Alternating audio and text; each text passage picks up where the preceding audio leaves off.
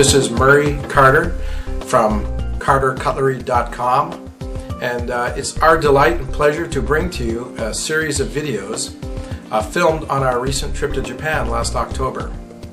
After having lived and worked in Japan for 18 years as a traditional Japanese bladesmith and then moving here to Oregon in the United States and then working here uh, for five years continuing on in the traditional Japanese bladesmithing custom, uh, I organized a trip in October to go back to Japan, and it was my intention there with a new video camera to capture uh, a lot of the sights and sounds of the traditional Japanese cutlery industry.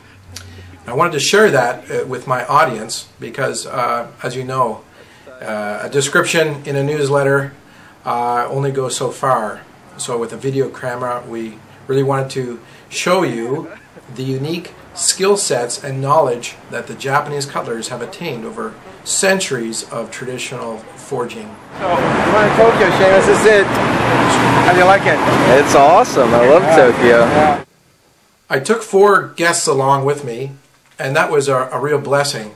Uh, besides their delightful company, as uh, three of the four had never been to Japan, uh, I got to take them through as a tour guide through Japan.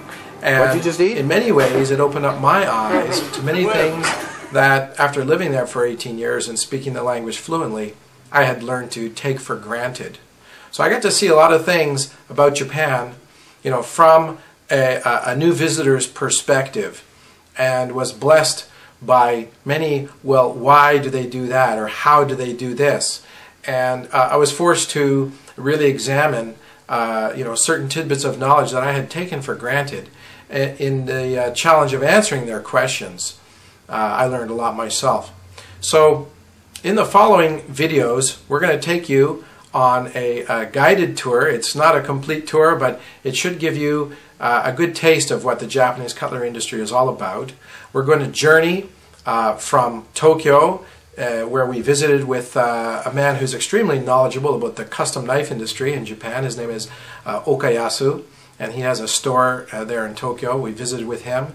We then are going to travel to uh, Shozaburo Scissor Factory, and we have quite a bit of footage there where I got a chance to work right alongside of the, the, the Grand Master and company president himself. And then we move along to some of the finest cutlers in Osaka, Sakai, Osaka, Japan. And we'll be spending some time with Mr. Shiraki, possibly the finest bladesmith in the world. And we'll be spending some time with uh, Mr. Ashi and his uh, factory and uh, uh, getting some great interview time with him. And uh, followed by a trip to Mr. Mamiya, who makes custom made Japanese knife handles of all styles and configurations. Then we'll be taking, continue our trip up to uh, Seki City, Japan, where we attended the annual Seki Knife Show.